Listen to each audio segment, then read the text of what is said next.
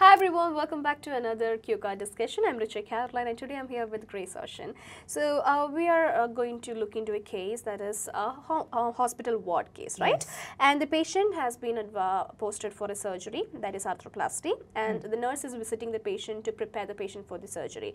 But when the patient, uh, nurse is there, the patient has a lot of questions about what exactly is the procedure because the patient doesn't know anything about the procedure and this is the first time he is undergoing a surgery too. mm? Yes. So yes, let's look into it. Uh, I'll play the part of the nurse, and uh, Grace will be handling the part of the patient. Okay? And you should be very careful because these are the this is a common type of question uh, which yes. appears nowadays in your exam. Pre-operative instructions, Yes. post-operative care. These are kind of like common questions that you can expect. So this is kind of like a model that you can use as a reference. Yes. So I hope this is going to be effectively useful for you guys. So without wasting much time, let's start. Yes. Okay. Yes.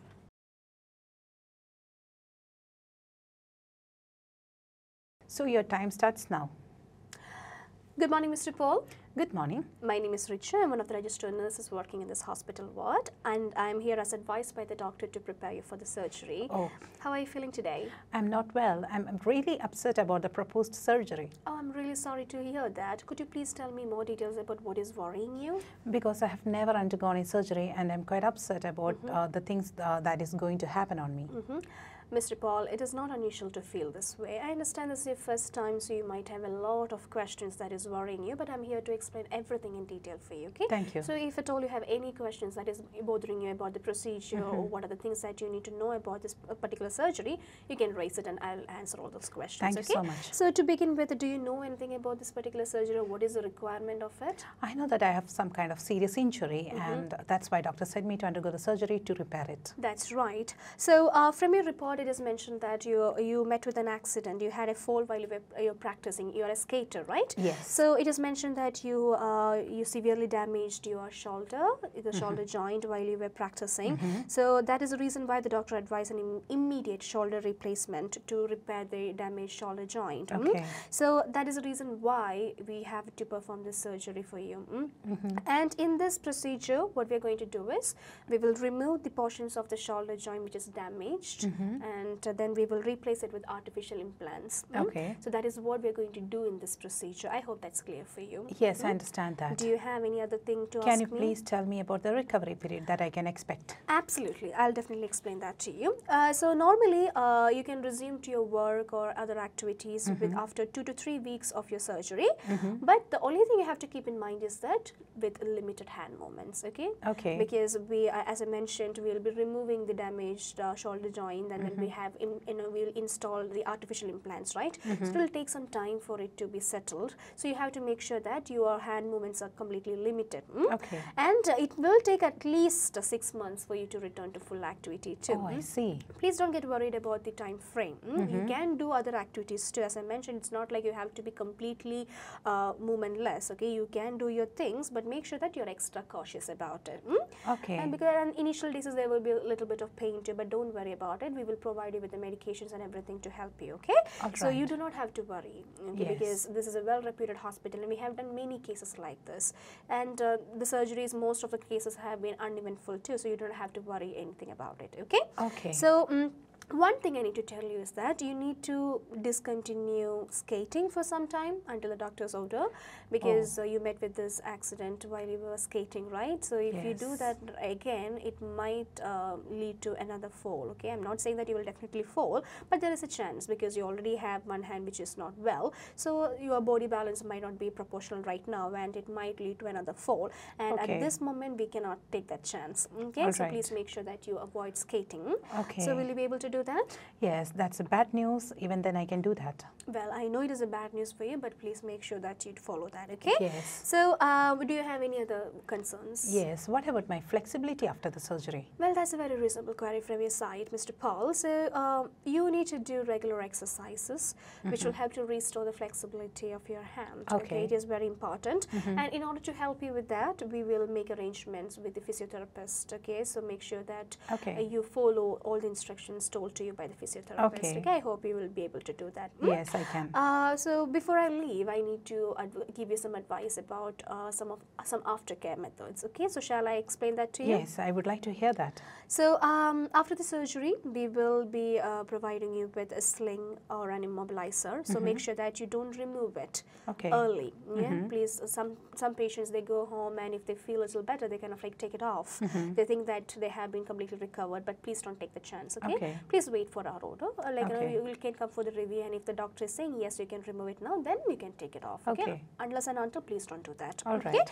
And as I mentioned, physiotherapist is, is very important. Okay. So please don't skip any sessions of that. Okay. And for the time being, please refrain yourself from pushing, lifting, or straining the surgical hand. mm, Okay. Because it might lead to dislocation or in- anything like that. So please try to avoid all those things. Okay. And if you have the habit of driving or if you drive, please don't drive for some time too. Okay. Mm-hmm. And all these uh, restrictions on you are eh, are temporary. I'm not saying you cannot do it for your lifetime. mm. These are all temporary. You can come back for the review next time. Okay, Okay. Mm-hmm. after the surgery, you will be discharged, and then you will come back for the review. So at that time, the doctor will give you more information about what are the things that you can start doing and what you need to control as well. Okay. Okay. So I hope I have clarified all your concerns. So these Yes. are everything that you need to know about the procedure and the aftercare. Is there anything else you want to ask me? No, nothing more. hmm Well, in that case, shall I prepare you for the surgery? Yes, sure. All right. Thank you very much. Thanks. So that's the end of our role play. Hope it is clear for you guys. Yes, and it was a very informative role play as well as I hope you all got the idea how to reassure a patient mm-hmm. who have certain concerns regarding the surgery. Absolutely. Especially as we said already, these are the common set of role play Questions. question. Mm-hmm. So please make sure that you uh, understand it clear, clearly and mm-hmm. you know how to um, do it, do it. later. Yes. So another thing I need to tell here is that most cases when the uh, nurse is visiting the patient for a pre-operative instructions or uh, to prepare the patient for a surgery, like in this case, uh, students make a mistake when it comes to the conclusion. Mm-hmm. Okay, so uh, they have to relate to the context because we have visited the patient to prepare the patient. So while we were, we are there, the patient asked you a lot of questions. So we actually answered the questions, and then you have to do the purpose. That is prepare Yes. the patient. So while you're concluding the role play, you have to tell that. So now shall I prepare you Prepare for, the for the surgery? surgery. Because that is why we went there. That is the sole purpose of it. But some students kind of like they get carried over and uh, they forget it. mm. Yes, and So they will say, uh, yeah. hope you will get uh, recover fast yeah, and they'll see you normally say like that. So thank you so much for your time. See you for the next time, something like that. But that Yes. is not the context. So whenever you are concluding, you have to make sure that you're relating to the context. That is only time the entire conversation will be complete. Yes. So uh, after this role play, there will be the feedback session where you'll get more explanation about how you can create statements in an easy way. So do watch it and also post your valuable feedback about how you found this role play too. So we'll definitely look into it. Yes. So we'll come back another time. Until then, take care. Bye bye. Bye.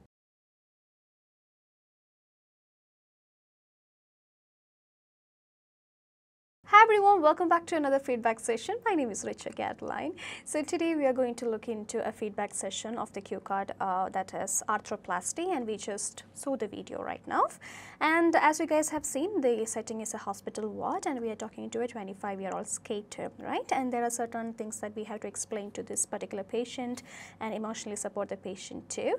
So I'm going to take you through each task one by one and show you how easily you can create statements here. Okay, so let's get started. So as you guys can see, this is the cue card. We have uh, the setting hospital ward and the background information is also given there.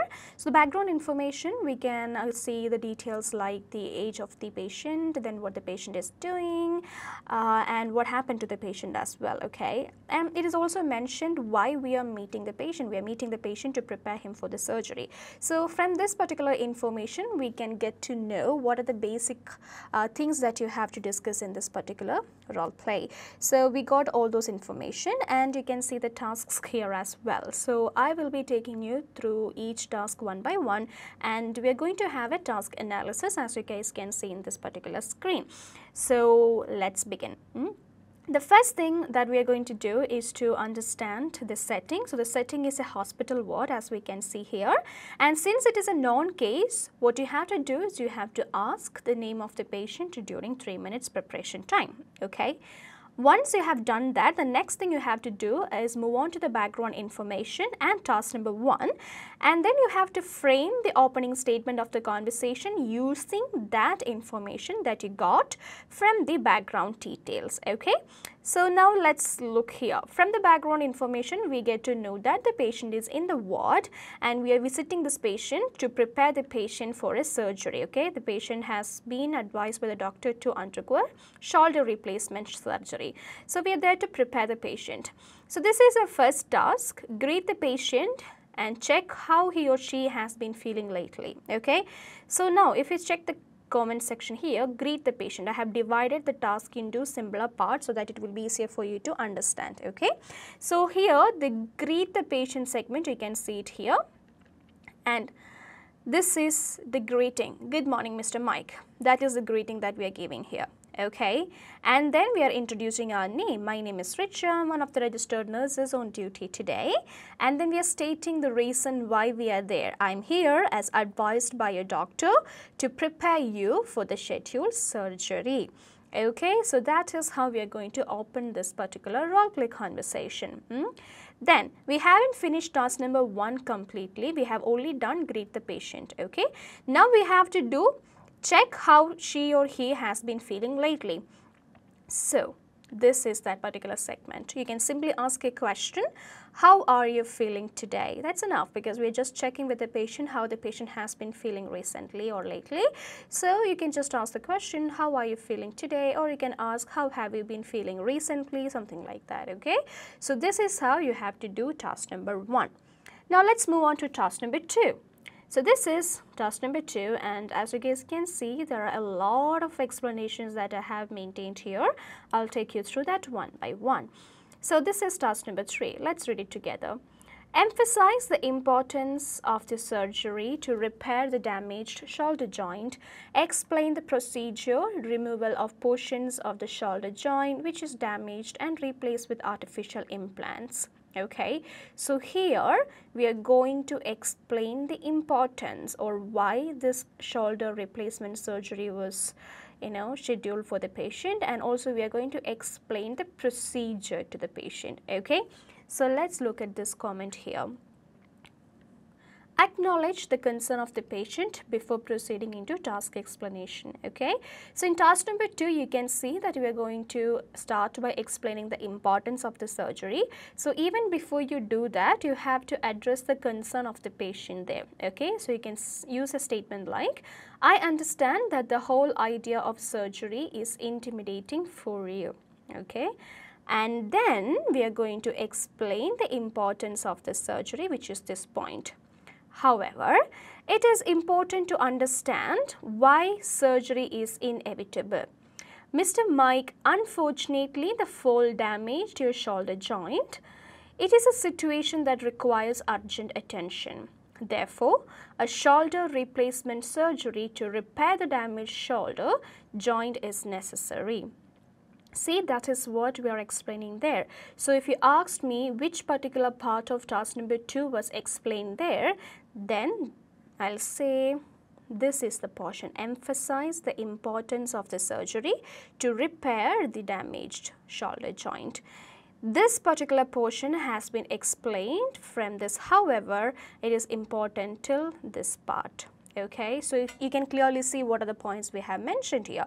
We have said the surgery is inevitable and then we have explained to the pa patient that during the fall the patient damaged the shoulder joint. So it requires urgent attention. Therefore a shoulder replacement surgery is really important to repair the damaged shoulder joint. Okay so that is the explanation that we are going to give for the task number two first part that is emphasize the importance of this surgery. Okay then we have to check the understanding of the patient okay? Because you just gave an explanation to the patient right now why it is important. So it is also important that you check with the patient whether the patient followed your explanation okay? Whether the patient understood the significance of the surgery hmm? So you can frame a question like, I hope you understand the significance of the surgery. Okay, so that's a brilliant point that you can use there. So the patient is saying, yes, I do understand it, but I don't know anything about this procedure. So what are you going to do in that procedure? Okay, so we are going to explain the next point in task number two, that is explain the procedure removal of portions of the shoulder joint which is damaged and replaced with artificial implants. So that is the point that we are going to elaborate and you can see that here. Mr. Mike, there is nothing to be alarmed about the surgery. I'll explain what will be done during the procedure. During the surgery, the damaged portions of the shoulder joint will be removed and replaced with artificial implants. This surgical reconstruction will help to restore the function of the joint.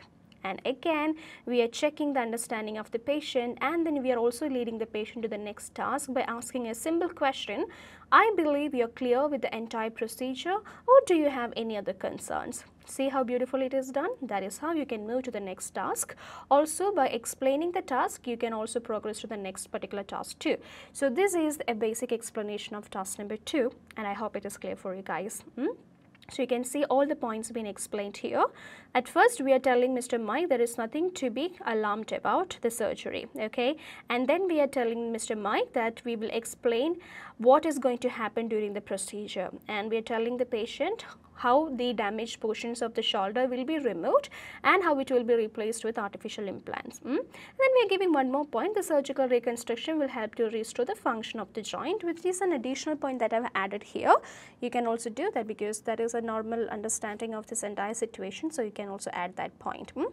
And just keep in mind after you give such an explanation it is important that you check the understanding of the patient by asking a question like this. I believe you are clear and about the entire procedure or do you have any other concerns? Okay so the mr mike will ask you any concerns if at all he has any or you can move on to the next task okay? So that is how task number two has to be done. Let's move on to task number three. So task number three is like this. Inform that he or she can resume to work after two to three weeks of surgery with limited hand movements, at least six months to return to full activity. Advise not to continue skating for some time until doctor's order. Okay, so here let's break it down into two different segments. Okay, the first segment is this one. Inform that he or she can resume to work after two to three weeks of surgery with limited hand movements, at least six months to return to full activity. So I'm going to explain that here. Okay, so my explanation is it is understandable that you're concerned about the recovery period following surgery. Although it is a major surgery, you can resume to work after 2 to 3 weeks of surgery with limited hand movements. Hmm? Please note that you may need to take proper rest for at least 6 months before you start doing full activities. Okay, so these are the two statements that you can use to explain task number 3 okay and here also please note that I have started the explanation by using an acknowledgement statement that is it is understandable that you are concerned about the recovery period following surgery. I didn't jump into the task explanation directly. Instead, I made sure that I'm acknowledging the patient's concern about the recovery and whether the patient will be able to start doing his work very soon. I addressed that concern. After that, I explained to the patient, yes, this will take some time that is two to three weeks and then I told him the importance of having limited hand movements and I also mentioned to him about um, his six months of rest before he get into any full activities okay so that is how the first segment of task number three can be done. So task number three has another part too, okay, that is this one, advice not to continue skating for some time until doctor's order. So that is being explained here. I'm sorry to say that it's better to put a hold to skating until doctor's order. I hope you understand the significance of it. Okay. So instead of always asking the patient, is it clear to you? Is it clear for you? You can uh, you know, use a statement like this too. I hope you understand the significance of it, which means we have been explaining a significant factor about taking rest. Why is it very important? Okay. So you can check with the patient whether the patient understood the significance of it. Okay, so that's a, that's a very beautiful statement that you can use. So you can consider this. So that is how we can do task number three. And then yes, you have to move on to task number four by asking another question. Is there anything else worrying you? Hmm? So, Mr. Mike is going to ask you the next question about the flexibility of the shoulder and that is what you're going to explain in task number 4. So, task number 4 is like this. Tell the patient that regular exercises can restore the flexibility of the shoulder. The physiotherapist will assist him or her after the surgery. So this is the point that we are going to explain in task number 4. Okay, again, we can divide this into two portions. Okay, So the first portion is this one. Tell the patient that regular exercises can restore the flexibility of the shoulder. Okay, so see how I've explained it. You can see it here. I can understand that you are worried about your flexibility. I assure you that doing exercises regularly as instructed by the physiotherapist will definitely quicken your recovery and will help to restore the flexibility of your shoulder. So this is the basic explanation you can provide here. Okay. So if you look at the task, it is clearly mentioned. Tell that patient that the regular exercises can restore the flexibility of the shoulder. Hmm? This particular portion has been explained in an elaborated way here okay you guys can see that I told them regular exercises as instructed by the physiotherapist will definitely quicken your recovery and it will also help to restore the flexibility of the shoulder okay? So that is how we can explain that point. We have one more segment here saying that the third the physiotherapist will assist him or her after surgery. So that point can be explained like this. The physiotherapist will speak to you regarding the exercise regime after your surgery okay? And then we're checking with the patient. Is that okay with you? Hmm?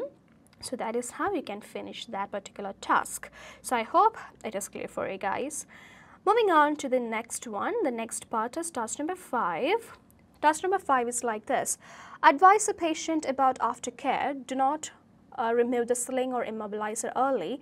Don't skip physiotherapy. Avoid pushing, lifting, and straining the surgical hand, especially avoid driving. Hmm? So let's break it down again. The first segment. Avoid the patient about aftercare. Don't remove the sling or immobilizer early. Don't skip the physiotherapy. Avoid pushing, lifting and straining the surgical hand, especially avoid driving. So this is the statement that you can use to explain this task. Before I leave, I would like to discuss a few things with you regarding your aftercare. Please don't remove the sling or immobilizer early. It acts as a support for you. Most importantly, try not to skip your physiotherapy sessions as it's one of the effective ways to quicken your recovery and restore your flexibility. Is that clear, Mr. Mike? Then, after getting a response from Mr. Mike, you can do the next part. Taking rest is very important. Speaking of which, don't push or lift or strain the surgical hand, especially avoid driving for some time so that you won't strain your surgical hand. Hmm? And then you're asking Mr. Mike one more question that being said, do you have any other concerns? Because once we finish all the tasks, it is important that we check with the patient whether the patient has any further questions that needs to be addressed. That is very important, okay? And after you have done that, Mr. Mike is going to say, no, I don't have any further concerns. So you're going to continue with the purpose of your visit because you're visiting, in this particular case, not you're visiting the patient in this in the ward to prepare the patient for the surgery. So you have to continue with that. So you're telling Mr. Mike, well, in that case, shall I prepare for your surgery? So Mr. Mike is saying, yes, you can. So you're saying thank you. And that's the end of the discussion. Hmm? So that is how you can wind up this entire cue card here. So if you have noted this particular area, you can see how I elaborated these points. Don't remove the sling or immobilizer early, don't skip physiotherapy, avoid pushing, lifting and straining the surgical hand, especially avoid driving. So whenever you explain the bullet points, just keep in mind that you're not just picking it up from the brackets. Instead, you're connecting it with some elaborations here and there. So I'll take you through the statements once again so that you can clearly see that. So here, uh, I have told Mr. Mike, please don't remove the sling or immobilizer early. Then I've added one point. It acts as a support for you. Okay, so that is the reason why I'm telling Mr. Mike not to remove it early. Then moving on to the next explanation, I'm telling him, most importantly, try not to skip your physiotherapy sessions. Why? As it's one of the effective ways to quicken your recovery and restore your flexibility. Okay, see, I'm not just telling Mr. Mike, don't skip physiotherapy. I'm giving an explanation about why he shouldn't or why he must be careful about not skipping the physiotherapy. Okay, and if you look into the next part, I told him like this. Taking rest is very important. Speaking of which, okay, speaking of which is a really good usage that you can use, okay, because here you're talking about rest. Okay, taking rest is very important. So speaking of which, don't push or lift or strain the surgical hand, especially about driving. For what? For some time so that you won't strain your surgical hand. That is the reason why we are telling Mr. Mike not to do anything like that. So whenever you are explaining the points given in the bullet, you know, the, as the bullets given in the brackets, make sure that you elaborate it with some extra explanations as in why or as to why you are giving that suggestion. That will be a little more better when you come, you know, when it comes to the explanatory part because your explanations will look a little you know elaborated. So that is going to give you more explanations uh, for your role play too. Okay so that is how you can do this and i hope it is clear for you guys Alright guys, so by that we have seen how easily you can create statements as well as to break down each task and create statements in a very simplified manner. So I hope it was very helpful for you guys. If yes, let us know because all your suggestions are really valid for us. And if you find it really informative and helpful, make sure that you share it with your friends as well so that I'll see you guys next time with another video and the explanation of that too. So until then, take care. Bye-bye. IILT, it's my cup of tea.